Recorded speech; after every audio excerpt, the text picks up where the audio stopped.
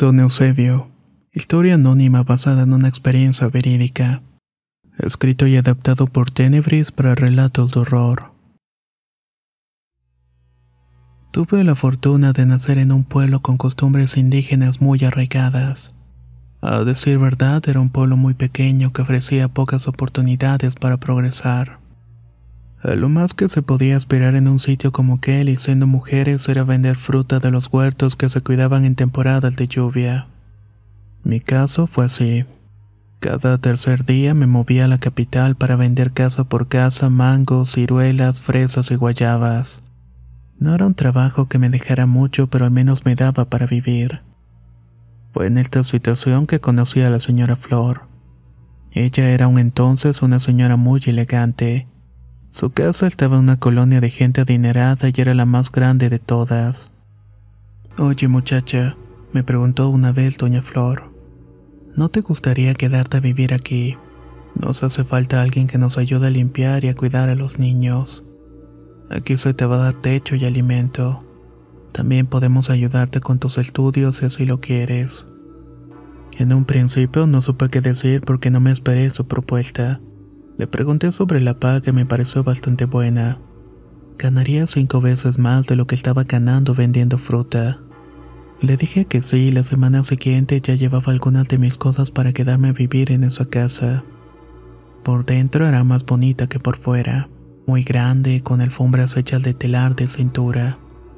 Otras eran muy peludas y otras más parecidas a hechas de alguna piel de animal. Doña Flor me presentó a la gente que vivía en la casa. Eran tres jóvenes y tres niños pequeños que serían en sí los que estaría cuidando. Uno de los muchachos ya estudiaba fuera en una escuela de paga muy prestigiosa de México. Los otros dos estaban a punto de graduarse. Los pequeños iban a colegios particulares y eran como cualquier otro niño.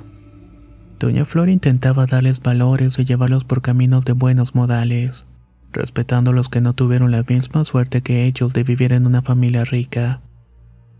Al único que conocí tarde fue a don Eusebio. Él era el esposo de doña Flor. Casi nunca estaba en la casa porque se la vivía trabajando en un corporativo de muy buen renombre. Con esta familia viví 20 años y puedo decir que nunca había personas más solitarias. Cada miembro tenía una vida fuera de la casa, con amigos, parejas y altamantes. Don Eusebio muchas veces faltó a reuniones familiares, a cenas de Navidad y a los cumpleaños de sus hijos por estar de viaje arreglando negocios o eso era lo que decía. Con el tiempo los lazos que tenían con sus hijos se fueron rompiendo hasta que ellos lo veían como un desconocido. Es cierto que materialmente no les faltaba nada, pero el amor, el cariño y el tiempo de calidad es algo que no se puede compensar con todo el dinero del mundo. Al final este tipo de actitudes terminaron por alejar a don Eusebio de la vida de sus seres queridos. Recuerdo que era octubre del 2014 cuando le detectaron a don Eusebio un cáncer del estómago. Por desgracia estaba muy avanzado y no había mucho que hacer. Pasó los últimos dos meses de vida en casa con la visita obligada de nietos e hijos. El día que falleció solamente estábamos doña Flor y yo. Por supuesto que su velorio estuvo repleto de gente, pero muy poca reconocida por nosotros. Era gente de sus negocios, del corporativo y una que otra mujer que seguramente fue su querida. Lo tenebroso de la situación es que a partir de la muerte del señor comenzaron a pasar cosas muy raras. Por ejemplo, en la casa había un perro de nombre Cooper. Era un pastor belga que se quedaba en el patio pero que se dejaba entrar en época de frío como era el caso. Pero cuando Cooper estaba dentro de la casa se ponía muy nervioso. Se le paraban los pelos del lomo y se ponía a ladrar a una ventana que estaba justo frente al cual era el cuarto de don Eusebio. Con esto comenzaron a notar que había algo raro, pero vaya que no le tomamos tanta importancia. Otra cosa que nos sorprendió fue que uno de los muchachos que para ese entonces ya era un adolescente se levantaba durante las noches. Luego entraba al cuarto de don Eusebio. Se hincaba a un lado de la cama donde falleció el señor y se ponía a llorar. Esto me daba mucho miedo y solo llegué a comentar a doña Flor, pero me dijo que seguramente me había sugestionado, que su hijo necesitaba ir a terapia para superar la pérdida. No fue hasta que le tocó a ella que tomó cartas en el asunto. Una mañana mientras desayunábamos escucharon pasos que venían de la cocina. Nos quedamos en silencio, pues aparte de las dos no había nadie.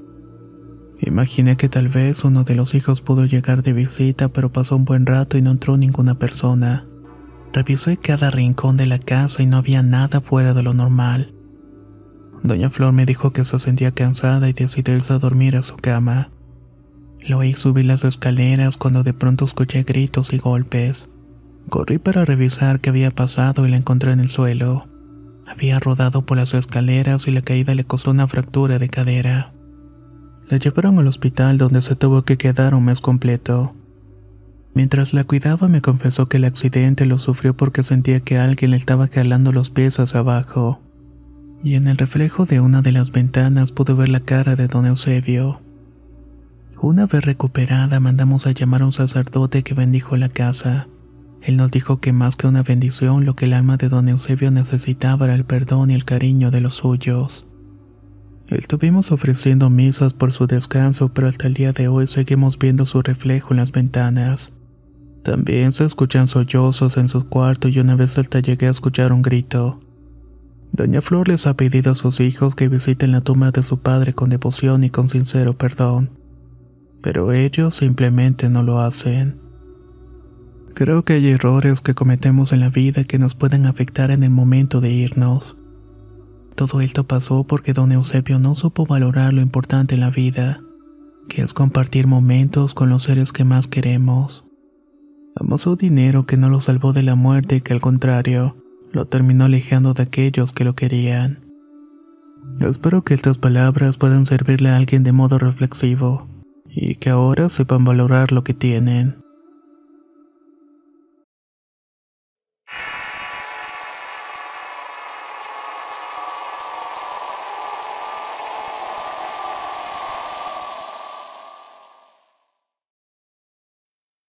La bruja Antelma. Historia compartida por Marlene Rivera. Escrito y adaptado por Tenebris para relatos de horror. Hace muchos años, cuando tenía 12, en el pueblo se tenía la costumbre de cocer maíz al atardecer. Después, temprano en la madrugada, lo llevaban al molino. Esta era una costumbre que actualmente ya no se practica, pero en ese tiempo era una aplicación para mí. Al principio me daba miedo porque a esa hora solamente habían perros ladrando y se ponían bravos. Incluso me llegaron a corretear varias calles. Como digo, solo había perros o alguna que otra persona que cumpliera la misma tarea que yo.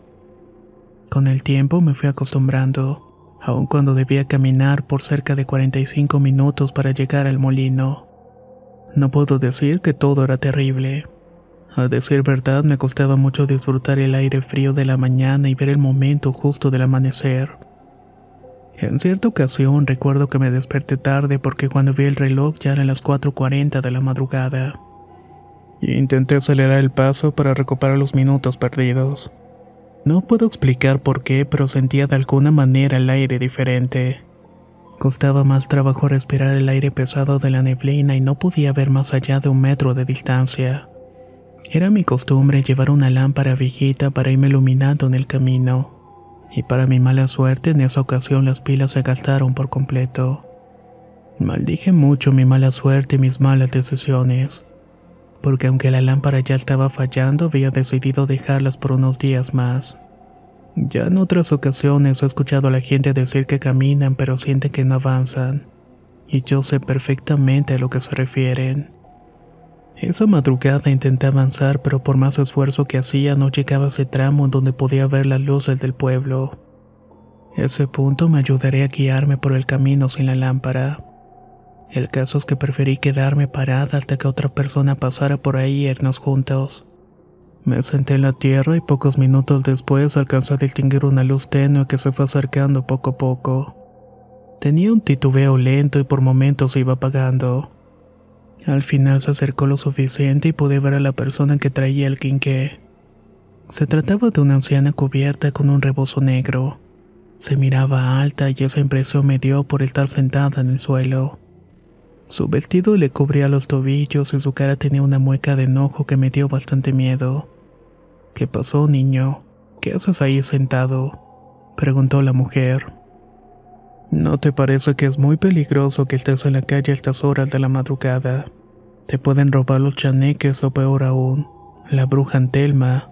A ella le gusta mucho comerse a los pequeños como tú. Yo me quedé sentado en la tierra incapaz de moverme. Su risa y su manera de moverse me dieron escalofríos. Con la luz que llevaba en las manos podía ver la boca sin dientes de la que salió un olor nauseabundo.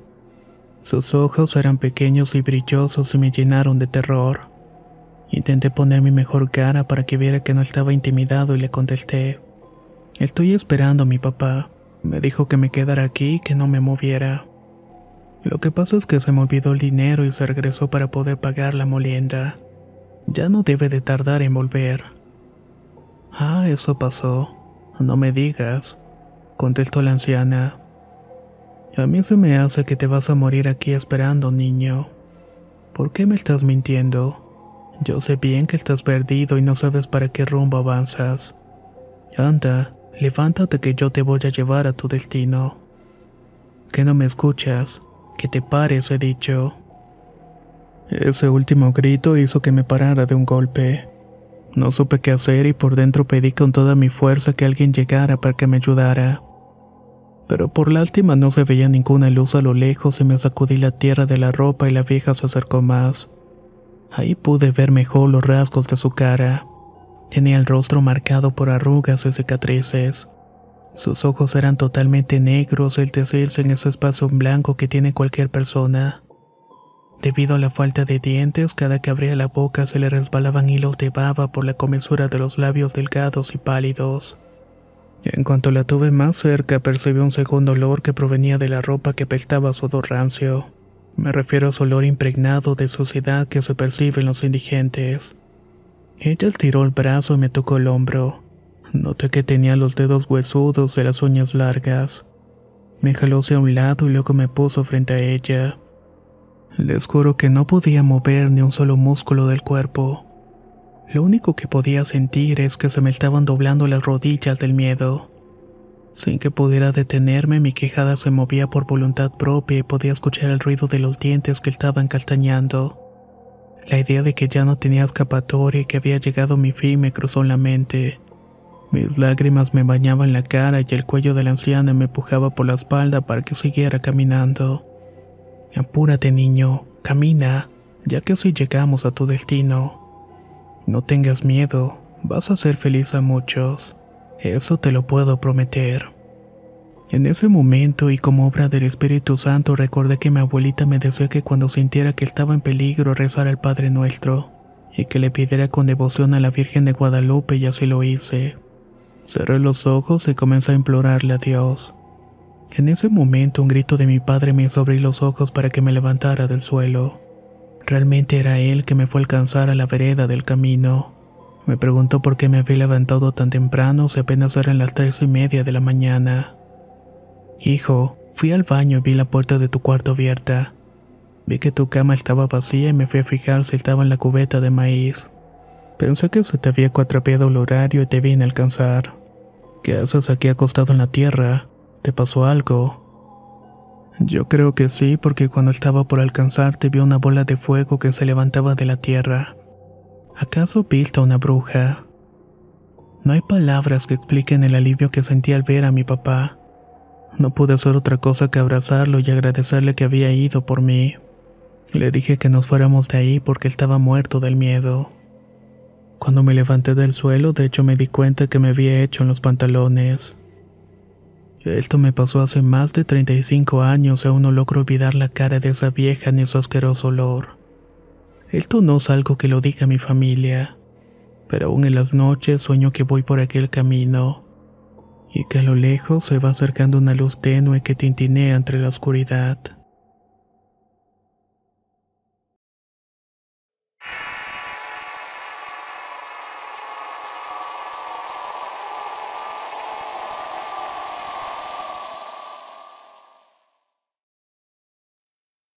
La bruja y el niño. Historia basada en una experiencia verídica. Escrito y adaptado por Tenebris para relatos de horror. Lo que quiero compartir con ustedes me pasó hace aproximadamente 18 años, cuando mi bebé tenía cuatro meses de nacido. Tanto mi hijo como yo vivíamos con mi hermana en una casa que pertenecía a mi madre, pero que ya no ocupaba porque volvió a casarse. Desde pequeñas vimos cosas bastante raras en este lugar. La casa en sí era pequeña, pero con un patio bastante grande que tenía un pozo. Allí falleció un niño pequeño que era hijo de la vecina. No voy a entrar en detalles sobre el trágico evento, ya que en realidad no sé cómo pasó realmente. El caso es que a mi mamá se le apareció un niño en la casa después del accidente. El niño corría por todas partes y se escondía debajo del ropero, pero cuando mi madre se agachaba para sacarlo de ahí ya no estaba. Así se le apareció en varias ocasiones. Ella no tenía dudas de que se trataba del espíritu del niño ahogado que no había logrado cruzar al otro mundo. Nosotras en ese entonces aún éramos pequeñas cuando vivíamos con estas apariciones. Y como el patio es grande hay varios árboles con ramas muy altas. Al ser niñas nos gustaba jugar debajo de ellos y podíamos escuchar que de vez en cuando nos decían ch, ch, ch. Aunque nunca supimos de quién se trataba o mejor dicho de qué. Mi mamá también llegó a ver a una mujer de blanco que se escondía entre los árboles o también escuchaba pasos de hojas secas sin que hubiera nadie alrededor. Nuestra casa colinda con la de una tía donde también llegamos a escuchar el llanto de un bebé detrás del tanque de agua. Ese ruido era imposible, ya que no había bebés en ninguna de las dos casas, las cuales por cierto estaban rodeadas de mucha maleza.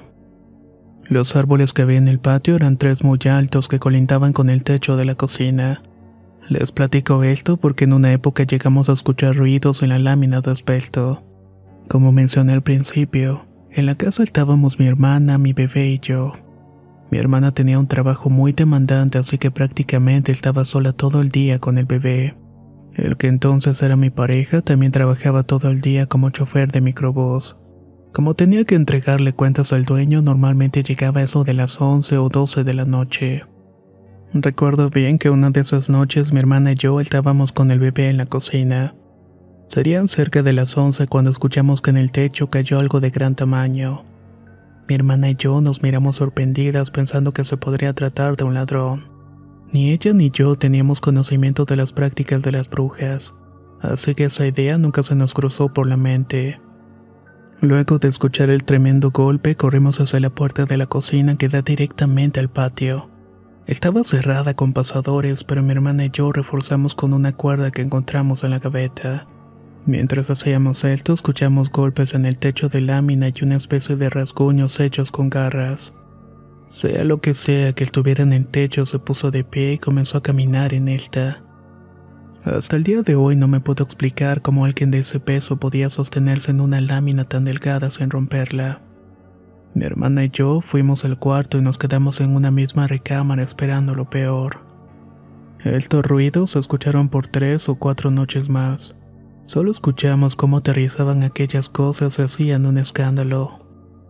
La última de esas cuatro noches estaba con mi hermana y el bebé. El esposo de la vecina que perdió al niño trabajaba en la misma empresa que mi expareja. En cuanto lo abrí, abrí una de las ventanas para hablar con él. Recuerdo que lo hice en voz baja para que aquella persona o causa no pudiera escucharnos. Le pedí de favor al señor que desde su casa se asomara a la de nosotros y viera que era aquello que nos estaba asustando. Al ver mi preocupación me dijo que tomaría cartas en el asunto. El señor se asomó y a la media hora llegó para decirme que no había nada en el techo. Yo incluso llegué a pensar que podría tratarse de los hijos de esta vecina ya que les gustaba estar de fiestas. Pero cuando hablé con la vecina ella me dijo que no. Y yo le creí porque a fin de cuentas nos conocíamos de toda la vida. Otra cosa que pasaba al escuchar estos aterrizajes en el techo es que el bebé lloraba con mucha desesperación. Nunca supimos qué era, pero luego de escuchar tantas historias que pasan en el canal, no dudo que se tratara de una bruja. Mi hermana también llegó a tener una experiencia por separado, pero ahora con el espíritu del niño. Ese día mi hermana estaba sola en la casa. Como siempre, ha sido algo miedosa y tiene cierta sensibilidad para percibir presencias. Por esta razón prendía todos los focos, la televisión y la computadora para escuchar ruidos. Cuando yo terminé mis labores, llegué a casa y vi que él estaba afuera acompañada de los vecinos. Con la voz temblorosa mi hermana me respondió que estaba trabajando en la computadora, cuando de repente empezaron a llamarla. Aún con todo el escándalo que tenía alrededor con los aparatos, escuchó claramente su chisteo. Volteó hacia atrás y allí estaba el niño sentado en el sofá de la sala vestido de blanco. Ella salió corriendo y gritando con todas sus fuerzas. La vecina al escuchar el ruido salió a ver qué era lo que estaba pasando y tiempo después llegué yo. Entre todos revisamos la casa pero no había nadie. En otra ocasión, cuando mi hermana tenía un novio, solía llegar tarde para hablar con él. Yo dormía en un cuarto que estaba pegado al de ella y quedaba al pasillo que conectaba la puerta de la calle. Recuerdo que entre sueños veía a mi hermana que me estaba hablando. En el sueño creí que me hablaba para que le abriera la puerta, pero tenía mucho cansancio y no me podía despertar aunque ella seguía insistiéndome. Total que terminé levantándome de la cama y abrí la puerta para mi sorpresa mi hermana no estaba ahí. Fui hasta su cuarto y abrí la puerta sin tocar. Adentro mi hermana estaba en la esquina repegada a la pared en cuclillas. Me acerqué con ella con lentitud para no asustarla. En cuanto me vio se echó rápidamente los brazos y me dijo, Dile que se vaya, hermana. Por favor, dile que se vaya. ¿De quién hablas? Le respondí. Del niño. Es que ahí está el niño. Estuve revisando cada rincón del cuarto, pero ahí no había nadie. Me la llevé a mi cuarto e intenté calmarle cuando se sintió mejor comenzó a decirme lo que le había pasado. Ya estaba dormida cuando sintió que le agarraron los pies. Pensó que era yo que intentaba hacerle una broma, pero el asunto se puso serio cuando le tocaron la espalda. Era como si la estuvieran sacudiendo para intentar despertarla. Igual pensó que seguía siendo yo tratando de molestarla. Decidió levantar la cabeza para encararme, pero lo que se topó de frente fue el niño. En esta ocasión el pequeño habló con ella y le pidió que no se asustara y que necesitaba su ayuda. Fue entonces cuando mi hermana se fue al rincón para protegerse. Le pregunté si vio para dónde se había ido el niño y ella me contestó que debajo de la cama. Por supuesto que revisé cada esquina de la habitación pero no encontré nada fuera de lo común. Como estuvimos expuestas a varias cosas paranormales, mi mamá trajo un sacerdote para que bendijera la casa.